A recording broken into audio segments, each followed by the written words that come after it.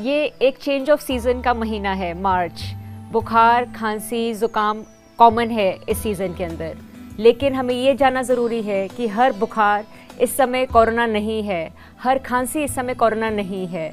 ज़ुकाम seasonal allergy के कारण होती है, सूखी खांसी पोल्यूशन के कारण भी हो सकती है और बुखार एक नॉर्मल वायरल फीवर भी हो सकता है. अगर बुखार और खांसी है तो हाँ ये कोरोना के लक्षण हैं अगर ये इकट्ठे आए हैं. इसमें ये जानना ज़रूरी है कि आप किसी हाई रिस्क एक्सपोजर के साथ संपर्क में आए हैं। हाई रिस्क एक्सपोजर क्या है? क्या किसी पेशेंट है जिसको पॉजिटिव टेस्ट आया है? क्या हम उसके टच में आए हैं?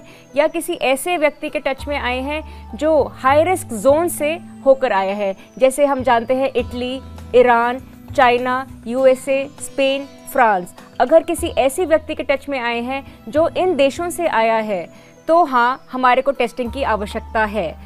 इस बुखार और खांसी के साथ अगर सांस फूल रहा है तो वो एक गंभीर लक्षण है और उसमें डायरेक्टली हॉस्पिटल से संपर्क में आना चाहिए।